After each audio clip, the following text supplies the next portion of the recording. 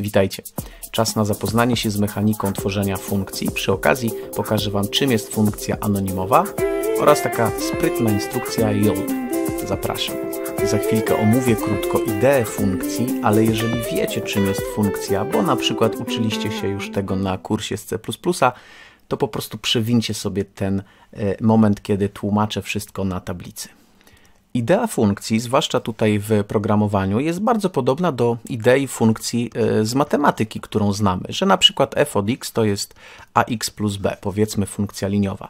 Co tak naprawdę tutaj mamy? Mamy nazwę jakiejś funkcji, która przyjmuje jakiś argument, która ma jakiś określony wzór, czyli byśmy powiedzieli sposób mieszania tego argumentu według jakiegoś tam ustalonego wzoru matematycznego i w wyniku tego jest policzony jakiś y, jakaś wartość końcowa. Tak? Zatem funkcja ma jakiś schemat działania, przyjmuje jakieś dane wejściowe, tutaj byłby to x, coś tam robi według określonego wzoru i w konsekwencji generuje jakiś wynik. Dokładnie tak możemy myśleć o funkcjach w programowaniu, z tym tylko, że jest to znacznie bardziej szerokie i nie chodzi tu tylko o wzory matematyczne, ale po prostu o ciąg instrukcji. Taką pierwszą funkcją, którą w zasadzie już wszyscy znacie, to jest cały główny program. Możemy powiedzieć, że nasz cały główny program ten, który uruchamiamy jakiś tam plik, na przykład 006.py, to jest jedna wielka taka funkcja. Ale skoro mamy jedną wielką funkcję, jeden wielki program, to pytanie, czy potrzebujemy tworzyć jakieś dodatkowe. No ależ oczywiście. Zwróćcie uwagę, że tak naprawdę już korzystamy z funkcji. Popatrzcie, mamy taką funkcję len, która gdzieś tam na wcześniejszych lekcjach dla podanego jakiegoś zbioru, czy to była lista, czy napis, zwracała ilość jego elementów, w przypadku napisu długość. Tak? I teraz e, popatrzcie, że te funkcje len mogliśmy wykorzystać wielokrotnie na jakimś innym zbiorze. No dobrze, ale co to było te len? No właśnie, to był jakiś wydzielony program, który obliczał zawartość e, ilościową tego zbioru i zwracał nam wynik. Przecież ja nie wiem, jak wygląda kod, który to obliczył, który to dla mnie policzył i zwrócił, natomiast wiem, że taka jest funkcja i ją sobie przywołuję. No i właśnie po to są funkcje, żebyśmy mogli porządkować kod, tworzyć pewne takie gotowe mm, maszyny, które za nas coś tam policzą i wyplują wynik, i żebym mógł sobie do tych funkcji odwoływać się nieustannie, kiedy tylko będą mi potrzebne. Zatem sprytny programista, jeżeli miałby napisać jakiś fragment kodu, nazwijmy go A, a potem znowu jeszcze go powtórzyć, powiedzmy, że tu jest 20 instrukcji, a potem jeszcze raz gdzieś chciałby te y, instrukcje powtórzyć, to zamiast za każdym razem pewną powtarzającą się mechanikę przepisywać, programista myśli inaczej. Nie, nie, nie. Sfaktyryzujemy to wszystko, zrobimy z tego przedsiębiorstwo produkcyjne, stworzymy sobie funkcję A, wydzielimy, tu wpiszemy te wszystkie instrukcje, a teraz tylko będziemy sobie tą funkcję A gdzieś tam przywoływali do życia, tak jak przywoływaliśmy te len. Zatem funkcja porządkuje nam program. Pokażę Wam, jak to robić, ale jeszcze kilka informacji. Oto kilka reguł związanych z funkcjami. Po pierwsze, Funkcje mogą przyjmować argumenty, czyli takie dane wejściowe, ale wcale nie muszą. Po drugie, funkcje mogą zwracać wynik, ale wcale nie muszą. Moment, w którym funkcje nie zwracają wyniku, to jest moment, w którym możemy mówić na funkcję procedura. Procedura. Natomiast funkcja, która nie przyjmuje argumentów, to będzie funkcja bezargumentowa. Funkcja nie musi mieć danych wejściowych, żeby coś zrobić i wcale nie musi zwracać wyniku, żeby coś zrobić, ponieważ ciąg instrukcji wewnątrz funkcji już może coś robić. E, co to znaczy, że funkcja zwraca wynik czy nie zwraca, to już zobaczymy w konkretnym działaniu na konkretnych przykładach. Zresztą zobaczcie sami. Tworzenie funkcji polega na po pierwsze użyciu takiego słówka kluczowego def, które sugeruje tutaj dla Pythona, że nastąpi jakaś definicja takiego podprogramu, takiej właśnie funkcji. Następnie podajemy nazwę własną takiej funkcji, a w nawiasach argumenty, o ile będą w ogóle potrzebne. Zobaczycie później w działaniu, co to są te argumenty, o co tu chodzi. Następnie stawiamy dwukropek, co jak już wiemy z lekcji wcześniejszej, rozpoczyna pewien ciąg instrukcji, pewien blok. Zatem wszystkie późniejsze instrukcje, które chcemy, żeby były częścią funkcji, muszą być wcięte względem tutaj e, tego początku definiowania funkcji. No a po, tej, e, po tym dwukropku mamy już instrukcję, przy czym tutaj warto powiedzieć, że jeżeli użyjemy po dwukropku w następnej linii tutaj takiego multitekstu, czyli takiego napisu E, wielowierszowego, który rozpoczyna się od trzech apostrofów i trzema apostrofami pojedynczym cudzysłowem kończy, to to będzie jakby dokumentacją, czyli może to być potraktowane jako e, opis do tej funkcji i niektóre środowiska programistyczne będą z niego korzystać, kiedy będą nam podpowiedzi do funkcji wyświetlać. Zatem warto jest, a nawet dobrą jest to zasadą. Ja tutaj w procesie edukacji na razie będę to pomijał, bo programy nie tyle są jakieś istotne, co pokazują pewne narzędzia, ale generalnie, gdy tworzymy już kod taki prawdziwy, yy, chcemy coś osiągnąć, jakiś projekt, to dobrze jest pisać taką dokumentację w trakcie tworzenia funkcji. Co tutaj ta funkcja robi? Sami będziemy się z tego później cieszyć, kiedy po miesiącu zerkniemy do kodu, zerkniemy w dokumentację i już wiemy, do czego była ta funkcja, bo wcale może to nie być takie oczywiste po paru e, tygodniach. Zresztą, jak będziecie programować, to e, odkryjecie to sami. No a po tej dokumentacji po prostu kolejne instrukcje kodu. Co to znaczy? To tak jakbyśmy pisali po prostu tutaj program. Normalnie program, tyle tylko, że e, ten kod tego podprogramu wywoła się dopiero jeśli ja o to poproszę nasz interpreter. Sam z siebie nie będzie działał. No a tu macie przykład takiej pierwszej funkcji, która nie dość, że nie ma żadnych argumentów, ponieważ tu w tych nawiasach jest pusto, chociaż nazywa się nic i składnię ma prawidłową, to jedyną jej instrukcją jest instrukcja pass, która jak wiecie absolutnie nic nie robi. Zatem mamy tu przykład funkcji, która jest wprawdzie zbudowana prawidłowo, ale rzeczywiście jest bez sensu. Niemniej, czasami chcemy stworzyć takie funkcje jako zapowiedź pewnej deklaracji. Powiedzmy, że sobie tutaj wpiszę hmm, napraw bazę. Tak, powiedzmy. No i teraz chciałbym, żeby ta funkcja w przyszłości rzeczywiście naprawiała jakieś uszkodzenia w jakiejś bazie danych. Zatem jeszcze nie wiem, jak chcę, żeby to działało, ale już chcę sobie tutaj pokazać sam dla siebie, że coś takiego muszę zrobić, zaprojektać. Wpisanie pas i pójście dalej. Świetny sposób. Takie, takie funkcje są pewną zapowiedzią taką projektancką. No niemniej, taką funkcję, wróćmy tutaj do tej nazwy, e, która nic nie mówi, e, takie funkcje jak nic można wywołać. Nie trudno sobie wyobrazić, że tutaj nie ma jednej instrukcji pass, ale jest setki, a ja przez takie proste później wywołanie w kodzie, nazwa funkcji i w nawiasach podanie argumentów do funkcji wejściowych. W tym wypadku nie ma tych argumentów, bo definicja funkcji nie zawiera argumentów. Wywoła tę funkcję w tym wypadku dwukrotnie. Nic się nie stanie, bo ta funkcja nic nie robi, ale jest dwukrotnie przywołana do życia. Następny przykład funkcji, nazywającej się ile czego, przyjmuje dwa argumenty. Oddzielam je przecinkiem. Co to oznacza? To oznacza, że żeby zadziałała moja funkcja, którą będę w przyszłości wywoływał, to potrzebuję przekazać dwa argumenty. Ale uwaga, pierwszy argument jest taki samotny, pusty i ten jest wymagany, konieczny, czyli muszę go podać. I tu macie przykład wywołania tej funkcji ile czego, po prostu nazwa i w nawiasach argumenty. I podaję jeden argument, bo jeden musi być. Ale zobaczcie, tu jest drugi argument, który od razu ma jakąś przypisaną wartość tekstową.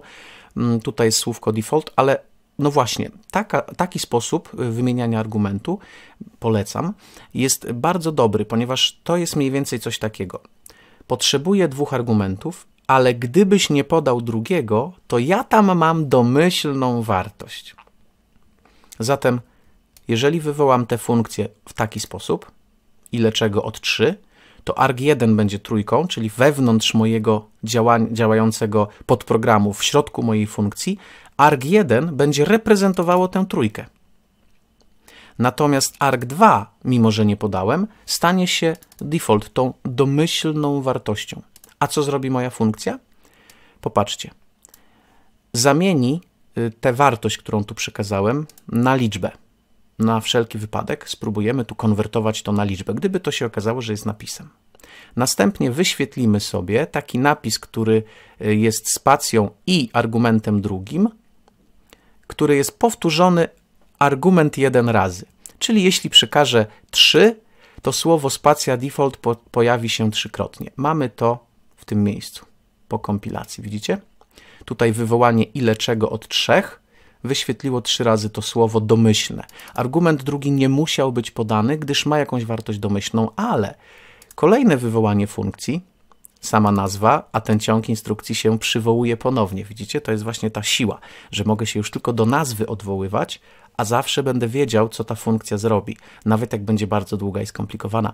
Otóż teraz co robię?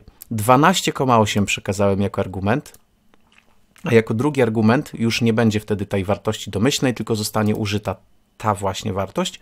Mam gwiazdkę i myślnik, taki maleńki napisik.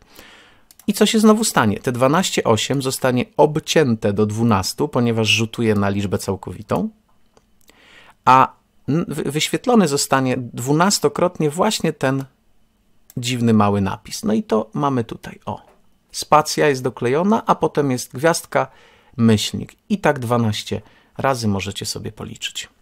I tu widzimy tą ideę funkcji. Wielokrotne wywołanie przygotowanego wcześniej kodu. Przy czym, co ciekawe, jeżeli nie wywołam tych funkcji, tylko samą definicję mam, to oczywiście one nie zadziałają, czyli nic tu się takiego nie będzie wyświetlać.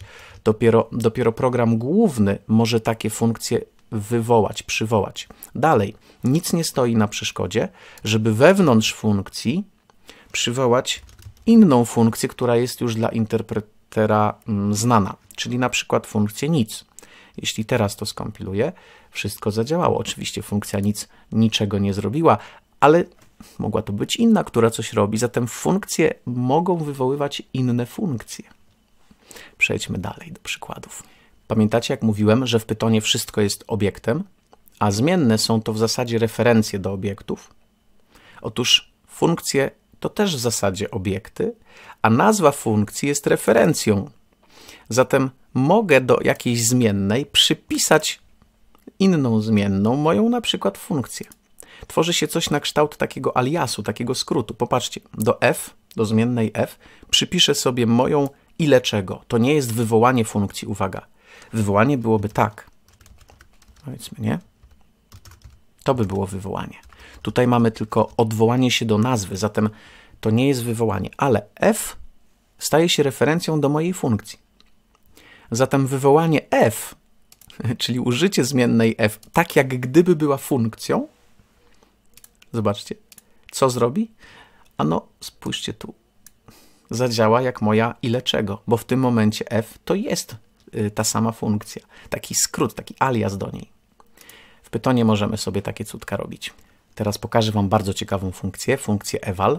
Jest to funkcja dostarczana standardowo przez Pythona i przyjrzyjmy się e, na ten fragment kodu, żeby zobaczyć, co ona w zasadzie robi. Popatrzcie. Mam tutaj zmienną v, która jest napisem ile czego. Napisem. To ile czego nie jest tą funkcją, to jest tylko napis. Akurat tak się składa, że ten napis identycznie się nazywa jak moja funkcja, ale to nie jest funkcja, to jest napis, żeby było jasne. Tutaj mam jakieś x, a tutaj mam e, zmienną TPL jako krzyżyk, taki jeden znak krzyżyk. A teraz popatrzcie, co się stanie, kiedy wywołam taką dziwną funkcję eval. Co jest w środku? Spójrzcie. Eval. I teraz tak. Łączę napis V, czyli słowo ile czego, z nawiasem. Łączę z x, z moją liczbą 10, ale zamienioną też na napis i z przecinkiem i słowem TPL i zamknięciem nawiasu. W efekcie o ta część w środku, którą tu stworzyłem, ja ją skopiuję i ją wam tutaj wyświetlę oddzielnie. Czyli wywołam na niej print, a nie eval. E, zobaczcie. To jest ta linijka. O tutaj. Czyli ten napis, o ten, wygląda jak gdyby to było wywołanie funkcji funkcji ile czego, gdzie mam 10 razy wyświetlić ten krzyżyk. No ale zaraz, zaraz. To jest tylko napis, a nie wywołanie funkcji. Rzeczywiście, y, ten ciąg jest tylko napisem. Ale jeżeli taki ciąg napisowy zarzucę do funkcji eval, podam go jako argument, to co się stanie? To zobaczcie, eval wywoła ten napis jak kod z Pythona a więc zinterpretował ten napis, jakby to był kod Pythona, prawdziwe wywołanie funkcji. Eval interpretuje napisy jakby były kodem Pythona. O, płynie z tego bardzo wiele ciekawych możliwości, bo tekstem mogę manipulować, a potem evalem mogę wywoływać kod, kod Pythona, który wcześniej był modyfikowany w locie, w trakcie działania programu na przykład. Ale uwaga, płynie z tego mm, pewne niebezpieczeństwo, bo pomyślcie, jeżeli eval wykonuje zwykłe zmienne tekstowe jako faktyczne polecenia, to może też wykonać pewne polecenia, e, no właśnie, pewne polecenia systemowe. Zwróćcie uwagę na to. Mam tutaj taką, taki przykład. Oto pobrałem z klawiatury, tu pobiorę z klawiatury słowo i je wpiszę do polecenia. F5 wciskam. Komputer się zatrzyma, podaj polecenie. Wpiszmy tutaj coś. Wpiszemy tutaj sobie na przykład print 1. Wciskam Enter i uwaga, wyświetliło się to 1. Zatem ten tekst, bo po pobraniu przez input to, co wpisane, zostało zinterpretowane jako tekst, ale poprzez użycie funkcji eval, ten mój tekst, który tu wprowadziłem, został wstrzyknięty do programu jako kod. A co gdybym tu wpisał instrukcję, która każe skasować coś na dysku na przykład? No to tak by się stało. Zatem ostrożnie z tym evalem trzeba tworzyć tak kod, mm, żeby uniemożliwić przypadkowe użytkownikowi albo co gorsza celowe namieszanie w systemie. Bądźcie ostrożni z evalem. No to teraz skupimy się na tym, co to oznacza, że funkcja coś zwraca. Otóż, żeby funkcja coś zwróciła, wcale nie musi, wcześniejsze tylko coś robią, liczą, wyświetlają, ale niczego nie zwracają. Y, tymczasem może funkcja coś zwrócić. Co to oznacza? Zaraz zobaczycie. Przede wszystkim, żeby funkcja coś zwróciła, potrzebuje słowa return, czyli takiego słowa klucza, które wprost mówi: wyjdź teraz w tym momencie z tej funkcji, nieważne czy coś zostało do końca, czy nie, wyjdź i zwróć to, co jest po mojej prawej stronie. W tym wypadku, popatrzcie, mamy funkcję multi, która podany argument przemnaża przez 5. I te przemnożenie jest zwrócone w wyniku działania funkcji multi. Co to oznacza? Popatrzcie. Otóż, jeżeli sobie teraz wywołam funkcję multi na 2 od 2, to w to miejsce, gdzie było wywołanie funkcji, w to miejsce, gdzie tutaj ta jest funkcja, zostanie wstawione 2 razy 5, czyli 10. Czyli funkcja w wyniku swojego działania, jeśli coś zwróciła, to tę zwróconą wartość interpreter podstawia w miejsce wywołania. Czyli tak jakby tutaj wstawił 10. Kiedy funkcja już skończy swoje działanie, to tutaj wyląduje 10. Rozumiemy? Bardzo intuicyjne i proste. Podobnie tutaj wywołana ta sama funkcja zwróci 15. Zatem mamy do czynienia z czymś takim, że to jest 2 razy 5, czyli 10, razy funkcja obliczy 3 razy 5, czyli 15, no i to powinno dać 150. I tak powinno się wyświetlić, i tak się wyświetla. Zatem funkcja zwraca, to znaczy, że w miejsce swojego wywołania wstawia swój wynik. Zapamiętajcie. Funkcja, jeżeli ma samo return, o tak, i tu nie musi być argumentu, to może być jedyna instrukcja, to ona domyślnie zwróci wartość nic, takie po prostu non, ok? Po prostu nic nie zwróci, zwróci nic. to żebyście wiedzieli. Kolejna ważna rzecz dotyczy zasięgu zmiennych wewnątrz ciała funkcji. Zatem tutaj mamy ciało funkcji i tu utworzyłem dla Was różne zmienne. Przyjrzymy się temu fragmentowi kodu, o temu, żeby zrozumieć te wszystkie mechanizmy, co gdzie żyje i o co chodzi z tym zasięgiem. Popatrzcie. Mam tutaj dwie zmienne, var i var3, utworzone w programie głównym. Można więc powiedzieć, że są to takie zmienne globalne. I teraz mam funkcję change global.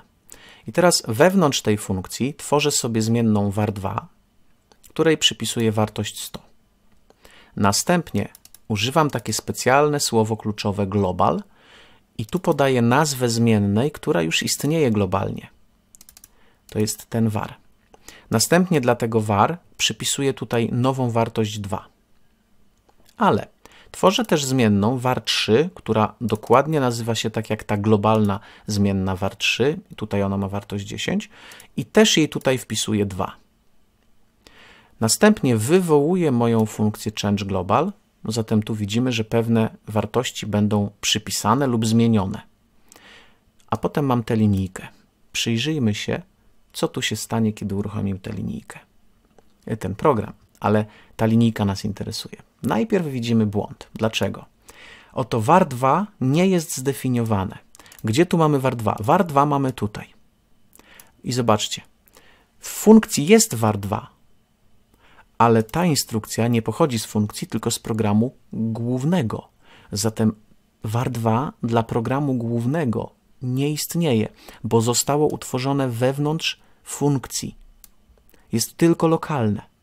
I dlatego program główny nie wie, co to var2, dlatego usuwamy to var2. var2 tutaj nie może być użyte, bo ono zginęło wraz z zakończeniem działania funkcji change global, więc już nie mogę się do tego var2 odwołać. Było tylko tu, stało się setką, funkcja skończyła działanie, nie ma setki, nie ma var2. No a co z var var3? Jeszcze raz F5, teraz już program pójdzie, ale zobaczcie, co się wyświetliło. var jest dwójką, czyli funkcja zmieniła wartość globalną z 1 na 2. Dlaczego mogła to uczynić? Bo jawnie powiedziałem, używaj zmiennej var, która jest globalna, nie lokalna. I w tym momencie zmienienie tutaj tej wartości var na dwójkę tak naprawdę zmieniło ten var z jedynki na dwójkę, bo to jest właśnie w tym momencie ten sam var. Natomiast var 3 pozostał dziesiątką. Co to oznacza? Że ten var 3 niczego nie zmienił. Ten var 3, chociaż nazywał się tak samo, nie był tą zmienną globalną. Był wewnętrzną zmienną funkcji change global, który, która to zmienna akurat nazywała się tak samo. Rozumiecie ideę? Zapamiętajcie, funkcje lokalne żyją tylko w funkcji. Jeżeli chcemy użyć funkcji zmiennej globalnej, to musimy jawnie powiedzieć tutaj takim słowem global i podać tę funkcję, której, tę zmienną, której chcę użyć wewnątrz funkcji, a która jest zmienną globalną. Tak to mniej więcej działa. Warto o tym pamiętać i wiedzieć, to są dosyć, może takie trochę żmudne, ale istotne szczegóły. Idźmy dalej. A tutaj pokazałem funkcję, w której ten komentarz pełni rolę tej dokumentacji. Sama funkcja nic nie robi. Przejdźmy dalej. W kolejnej wykorzystuję ponownie słowo kluczowe return, czyli będziemy coś zwracali, ale zobaczcie, co ja zwracam. Nie zwracam jakiegoś jednego wyniku. Zwróciłem tutaj sobie krotkę. 1, 2 i 3.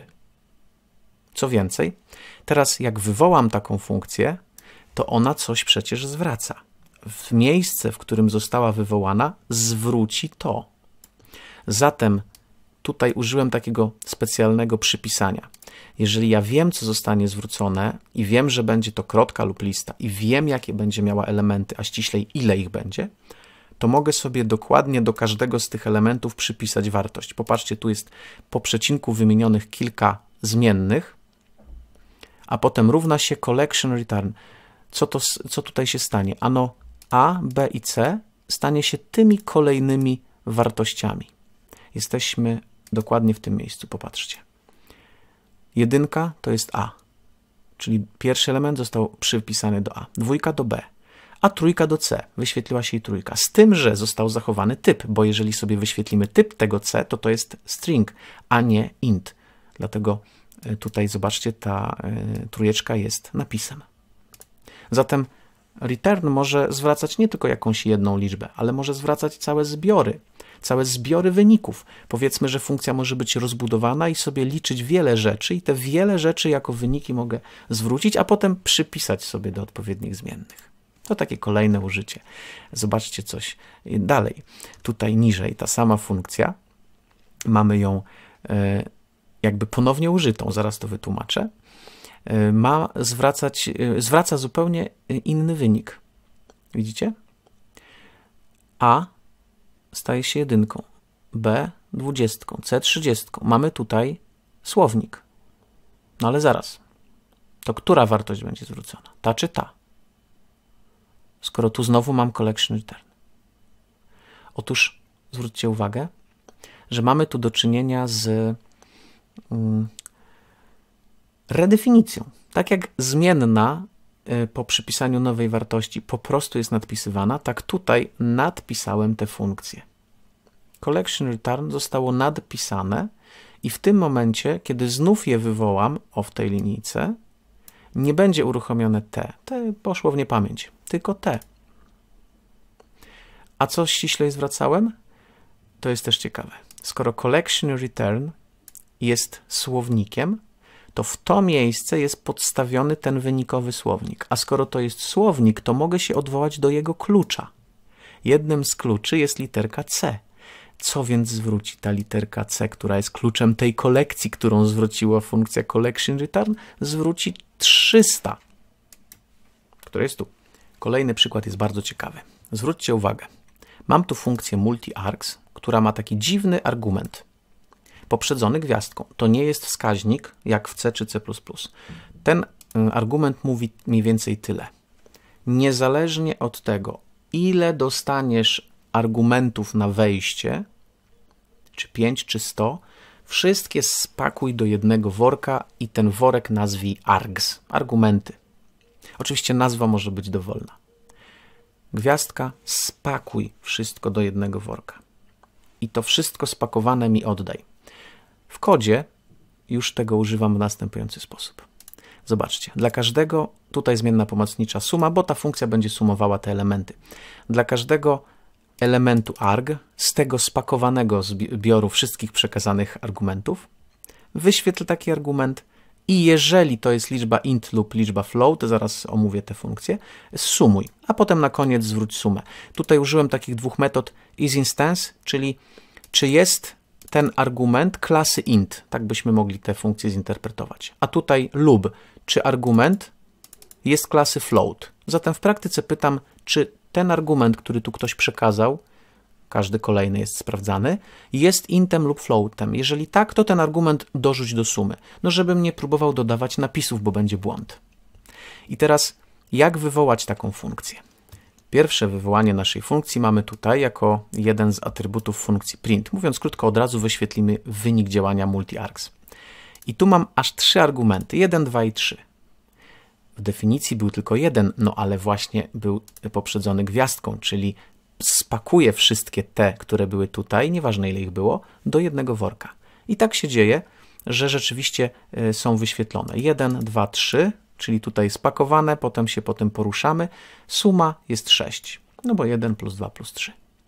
Tutaj mam inny przykład, gdzie też użyję operatora gwiazdki, ale w inny sposób. Zobaczcie, tutaj stworzyłem sobie krotkę, która zarówno ma liczby, ale ma i napis. Teraz wywołałem sobie funkcję multi-args, używając ponownie tego operatora, ale tym razem on działa inaczej. Tutaj był informacją, żeby wszystko spakować do jednej zmiennej, wszystkie argumenty. Natomiast tutaj nums już jest y, kolekcją, jest już zbiorem argumentów, bo jest krotką. W tym wypadku gwiazdka robi operację odwrotną, rozpakowuje to. Zatem gwiazdka nums to jest tak, jakbym tutaj wpisał 1, 2, 3, 4, 5, 0.5 i rabarbar. Ok? Ale żeby tego tak nie pisać, bo już mam taką krotkę, mogę po prostu wpisać to w ten sposób. I w tym momencie to rozpakuje tę krotkę na tych kilka argumentów oddzielnie, rozdzielnie. Nie będzie to już krotka. No, taka trochę operacja sztuczna, ale chciałem Wam pokazać, co robi ten operator. Tutaj ponownie zostanie to zebrane w taką listę, w, taką, w taki zbiór, spakowane. I oczywiście to zadziała. Jak sobie to skompilujemy, to mamy wynik tutaj. Jest jedynka, jest dwójka, jest trójka, jest piątka, 0,5 i rabarbar, ale dodało się wszystko z wyjątkiem rabarbaru. Rabarbar został tutaj w tym ifie pominięty. E, robię sobie przerwę, bo już sporo tego tłumaczenia. Wam też radzę wypić jakąś herbatkę, odpocząć chwilkę. Wiecie, teraz czekają nas e, ważne dwa takie aspekty, a nawet więcej i warto odpocząć trochę. Ten odcinek taki długi w ogóle, ale wiecie, chciałem, żeby było tak wszystko w jednym woreczku. To nie znaczy, że nie trzeba sobie przerw robić. Muzyczkę puśćcie sobie jakąś, na spacer wyjdźcie, wróćcie, umysł świeższy będzie. Hmm? Omówię teraz funkcję anonimową, zwaną lambdą, obecną w wielu językach. W skrócie jest to taka funkcja, której nie nadajemy nazwy, ale możemy do niej utworzyć referencję, czyli mówiąc krótko, możemy tę lambdę przypisać do zmiennej, bo to zmienne są referencjami. E, do czego służy taka lambda, jak działa, omówimy to sobie w kolejnych przykładach, bo myślę, że w ten sposób najlepiej oddam ducha tego, w jaki sposób z lambdy korzystać, do czego może się przydać. Lambdy tworzymy w następujący sposób. Składa się utworzenie takiej funkcji anonimowej ze słowa kluczowego lambda, po którym następuje wymienienie argumentów. Nie ma tutaj nawiasów, potem jest dwukropek, a po dwukropku jest zwracana przez lambdę wartość, która w jakiś sposób angażuje podane tutaj argumenty. Taka uproszczona funkcja przypomina trochę wyrażenie warunkowe, a ściślej relację wyrażenia warunkowego do instrukcji warunkowej. Patrzcie lekcje wcześniejsze. I tutaj mamy właśnie definicję takiej lambdy i całą tę lambdę przypisałem sobie do zmiennej, do referencji f. A tutaj wywołałem tę lambdę poprzez odwołanie się do tego f. Zatem to f w pewnym sensie jest taką nazwą, ale cała funkcja lambda y, jest jakby takim innym rodzajem troszeczkę funkcji. Dlaczego? Tutaj wywołałem to f na 5 i co to się stało? Ano te 5 zostało przekazane do lambdy jako argument, a to zostało zwrócone. Popatrzcie, to jest dokładnie o tutaj ta linijka. Lambda f od 5 daje nam szóstkę. Co to znaczy? To znaczy, że to jest zwrócony wynik, mimo że nie ma tu słowa return. To znaczy, że ta lambda to jest pewien taki skrócony sposób funkcji, która coś prostego zwraca. I tu mamy od razu wynik. No ale to nie jest jedyne zastosowanie. Tutaj tylko pokazałem, o co chodzi z definiowaniem lambdy i że rzeczywiście to działa. Mimo, że nie ma tu słowa return, to zostało tutaj właśnie zwrócone 6. Co więcej, nie zwiększałem argumentu o 1, tak? Czyli tutaj nie było takiego zwiększenia, tylko od razu to po prostu zwróciłem. Zwróciłem arg plus 1. W drugim przykładzie do lambdy podałem aż trzy argumenty, zatem widzimy, że po przecinku można tych argumentów mieć więcej niż jeden, a wzór prosty, który zostaje zwrócony, angażuje te argumenty, jakieś tam dodawanie z mnożeniem, suma dwóch pierwszych pomnożona przez trzeci. Tutaj wywołuję taką lambdę, korzystając z mojej referencji i do xyz zostanie wstawione 1, 2, 3, a w miejsce całej lambdy będzie wstawiony wynik. I to mamy dokładnie tutaj g od 1, 2, 3 to będzie 9. Kolejny przykład z jednym argumentem to taka lambda, która wykorzystuje wyrażenie warunkowe. W tym wyrażeniu albo zwrócimy napis jestem dodatnia, gdy podany argument jest dodatni, lub nie jestem dodatnia w przeciwnym e, przypadku. Całość przypisałem do referencji do zmiennej h. I tutaj wywołuję dwukrotnie dla piątki i minus piątki. Dla piątki wyświetli się słowo jestem dodatnia, dla minus piątki nie jestem dodatnia. Rodzi się teraz takie pytanie po tych przykładach. No dobrze, ale po co nam ta lambda? Przecież można było tutaj stworzyć e, oddzielne funkcje. To prawda, Zwykłe funkcje robiłyby przecież dla nas to samo, ale ta lambda jest trochę krótsza w zapisie, a poza tym są takie miejsca, kiedy użycie lambdy jest o wiele bardziej wygodne. E, zwłaszcza kiedy mamy pewne funkcje, jak na przykład za chwilę omówię taką funkcję map, e, która korzysta z lambdy, ponieważ jednym z argumentów dla tej funkcji map musi być referencja do funkcji. Zatem albo musiałbym tu użyć e, w argumentach do funkcji map, o której za chwilę nazwy jakiejś istniejącej funkcji, albo właśnie mogę sobie tu wstawić lambdę, zwłaszcza kiedy ta funkcja jest bardzo prosta, krótka, szybka i nie chce mi się jej tworzyć oddzielnie. Wtedy aż się prosi wykorzystać lambdę. I pierwsza na tapetę pójdzie funkcja map, bardzo zresztą fajna i przydatna. Zobaczcie, funkcja map przyjmuje dwa argumenty. Funkcję, w tym wypadku właśnie użyjemy lambdy, oraz jakiś zbiór. I co robi? Dla każdego elementu z tego zbioru, tu będzie to lista L, oto jest ten zbiór jako drugi argument, wywołuje moją funkcję, w tym wypadku moją lambdę, gdzie każdy element z tego L ląduje jako x w tej lambdzie i co się z nim dzieje? I generowany jest element nowego zbioru. Zatem w wyniku działania funkcji map powstanie nowy zbiór. Ten nowy zbiór sobie tutaj w specjalnym obiekcie będę zapisywał. Nazwałem sobie tutaj zmienną new L, nowy zbiór L. O tym zbiorze za chwilę, ale jeszcze się zastanówmy raz, co tu się dzieje. Jeszcze raz. Dla każdego elementu L przepuszczam ten element przez lambdę, gdzie x jest kolejnym reprezentantem kolejnego elementu z tego L i tworzony jest na podstawie tego, co zwraca lambda, zupełnie nowy zbiór. Ten nowy zbiór, a w zasadzie referencję jakby do niego, mamy zwróconą przez całą funkcję map. Ściślej to jest taka specjalna iteracja zwrócona, taki specjalny zbiór, e, który mogę sobie dopiero zamienić, rzutować na przykład na listę i to zrobiłem troszeczkę niżej. Zobaczcie, tutaj mam ten zwrócony przez map obiekt i tutaj go jawnie czynię listą, czyli kolejnym takim już znanym dla nas zbiorem. Jak wyświetlę ten new L, to popatrzcie. L to było 1, 2, 3, 4, a new L to jest 2, 3, 4, 5. Zatem na podstawie zbioru L, poprzez przepuszczenie tego zbioru L, a ściślej każdego elementu, przez moją lambdę, funkcja map wygenerowała i zwróciła nowy zbiór, gdzie każdy element jest o jeden większy od wcześniejszego. Zatem jeśli chcę wykonać jakieś operacje na elementach w jakimś zbiorze, to mogę użyć właśnie funkcji map i tu lambda jest świetnym argumentem do tego. Potem możemy sobie zobaczyć, e, czym jest samo new L. Popatrzcie tu. O linijka pokazuje, że jest to specjalny obiekt, który jest tego typu, który zwraca ta funkcja map. A więc samo new L nie jest listą, e, jest to taki specjalny typ, ale właśnie o tu mogę sobie ten obiekt na listę zamienić. Kolejny przykład wykorzystania lambdy będzie to lambda użyta do takiej świetnej funkcji filter.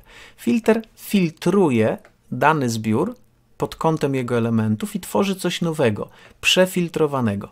Mamy tu zbiór utworzony dzięki metodzie range i jest to zbiór e, zwyczajnie liczb od 1 do 10. Tutaj jawnie jeszcze ten wynik funkcji range rzutuje na listę, by nie było żadnych e, tutaj wątpliwości, że L jest listą. Zatem drugi argument do funkcji filter, podobnie jak w przypadku map, to jest właśnie ta moja lista, ale pierwszym jest lambda. I co ma ta lambda? Lambda ma coś takiego. Tutaj mam argument x, a tutaj sprawdzam. To jest jakby taki warunek logiczny. Jeżeli x, tu nie ma tego jeżeli, ale właśnie tak to będzie się odbywało. x, reszta z dzielenia przez 2, jeśli jest równa 0, to ten argument x będzie zachowany w nowym wynikowym zbiorze. Jeśli reszta z dzielenia x przez 2 nie będzie 0, to taki argument zostanie odrzucony. Zatem kiedy x, a ściślej reszta z dzielenia x przez 2 jest zerem, kiedy x jest parzyste. Zatem lambda określa, które elementy zachować. Filtruje L pod kątem parzystości. Zatem kiedy rzutuję new L wynik na listę i wyświetlę, to z mojego zbioru zostaną tylko liczby parzyste.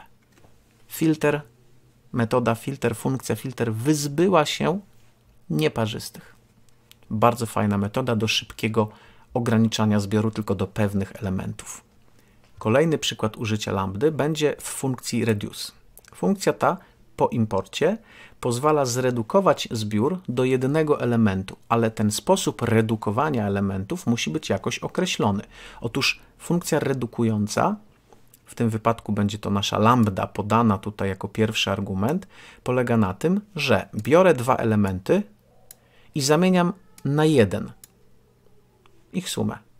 Tak długo każdą parę biorę, jak zostanie jeszcze kolejna para jakaś, to znów redukuję, redukuję, tak długo redukuję, aż będzie już tylko jeden element. W naszym przypadku będzie to suma wszystkich elementów. Popatrzcie, L to są liczby od 1 do 10. I tutaj jest to drugi argument dla naszej funkcji reduce. I teraz te elementy są redukowane tak. Weź dwa elementy z tego L i zamień je w jeden, który jest sumą. I tak rób aż do końca. Zatem jeśli to jest zbiór 1, 2, 3, 4, 5, 6, to weźmie jedynkę, dwójkę, złączy będzie trójka. Teraz weźmie tą trójkę i trójkę, złączy będzie szóstka. Szóstkę i czwórkę złączy będzie 10. I tak do końca. W efekcie ta funkcja zwraca ten jeden element, który zostanie po całej redukcji. Ponieważ tutaj redukcja polega na sumowaniu, zatem będę miał sumę wszystkich elementów. I to jest 55, możecie sobie sprawdzić. Mam nadzieję, że te przykłady pozwoliły Wam zrozumieć, czym jest lambda i że ona jest dobra, kiedy wykorzystujemy ją z innymi funkcjami, które potrzebują funkcji jako argumentu. Wtedy właśnie często wkładamy taką szybką funkcję anonimową, zamiast tworzyć oddzielną funkcję gdzieś tam na zewnątrz. Na koniec zostało jeszcze yield. Yield. Yield. Mimo, że ciężko to wymówić, instrukcja ta jest bardzo ciekawa. Otóż umieszczamy ją właśnie w funkcjach i ta instrukcja przypomina return, ponieważ również zwraca wynik z funkcji. No dobrze, ale to czemu nie return? Bo return po prostu zwraca wynik i tyle. Potem ponowne wywołanie funkcji i ta funkcja znów wykonuje się od początku, aż zwróci wynik. Tymczasem yield zwraca wynik, ale kiedy ponownie wywołam tę funkcję, funkcja będzie kontynuować od ostatniego yielda dalej. Czyli jeśli tutaj mam w mojej funkcji yield presentation cztery razy wywołane yield, to znaczy, że gdy pierwszy raz uruchomię funkcję, zostanie zwrócone a. Drugie wywołanie zwróci 1, trzecie 2,5, a czwarte krotkę 1, 2, 3. Kolejne znowu zwróci a, 1, 2, 3. W efekcie taka funkcja zwraca jakby zbiór wyników, przy kolejnych wywołaniach zwraca zbiór wyników i funkcja pamięta, co zwróciła ostatnio. Można więc powiedzieć, że dzięki yield funkcje tworzą listy wyników. I tu mamy dowód na to. Popatrzcie. Tu mam pętlę for, która, jak wiecie, przechodzi przez elementy zbioru. I tym zbiorem jest moja funkcja. Dzięki yield kolejne wywołania tej funkcji będą przypisywane do i.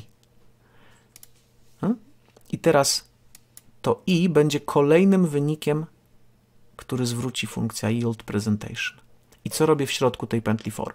Otóż sprawdzam, jeżeli to i jest krotką, to wyświetlę elementy krotki. W przeciwnym razie po prostu wyświetlę ten element. Zobaczcie, i tak to się dzieje. Wcisnę F5 i mamy tak. Wyświetliło się najpierw A, bo A nie jest krotką. To jest yield 1. Kolejny element wywołania tak, tej funkcji zwróci 1, kolejny ten taki krok, kolejne zwróci 2,5, a potem zostanie zwrócona krotka. I tutaj if wykryje, że to jest krotka i dla wszystkich elementów tej krotki, i jest tą krotką, czyli dla temp z krotki, in krotka, print tabulator temp. A na końcu ile tam tych elementów w krotce było. No i to jest to. Od 1 do 3 i łącznie 3 elementy. Zatem bardzo ciekawa mechanika. Tutaj jeszcze przy okazji pokażę, że jeżeli sobie te yield presentation rzutujemy na listę, czyli wymusimy jakby wszystkie wywołania, to tą listą będą też te wszystkie elementy. Zobaczcie, lista składa się z wszystkich możliwych tych yieldów, które robi funkcja. O co chodzi? Ten yield służy do tego, że możemy specjalnie utworzoną funkcją generować kolejne elementy jakichś takich list, ale które właśnie działają według jakichś tutaj schematów mojej funkcji, bo ja tutaj tak wprost użyłem tego yielda, to, to jest trochę sztuczne, bo równie dobrze mogłem stworzyć zbiór a, 1, 2,5 i krotkę i nie robić tego funkcji, ale nie trudno sobie wyobrazić, że moglibyśmy mieć całkiem różne instrukcje, które inaczej traktują pierwszy element, inaczej drugi, inaczej tworzą trzeci, inaczej, inaczej czwarty. W efekcie mogę mieć takie generatory specyficznych list dzięki właśnie mm, temu poleceniu yield. My ten, mm, to polecenie i tę mechanikę w ćwiczeniach, w przykładach jeszcze będziemy mieli. Tutaj chciałem Wam pokazać, żebyście już widzieli, co to jest, widzieli zastosowanie i żebyście teoretycznie już to łapali. Tyle na dzisiaj. Wiem, że to jest duży zestaw informacji, ale chciałem tak no, w jednym odcinku zebrać to wszystko, co w takiej podstawowej wiedzy o funkcjach, lambdach y, będzie nam po prostu potrzebne, a co jest bardzo charakterystyczne dla Pythona. Dzięki za wytrwałość. Rozbijcie może sobie ten odcinek, y, tak pewnie będzie prościej. A ja już zapraszam na następny. Będą to ćwiczenia, zadania.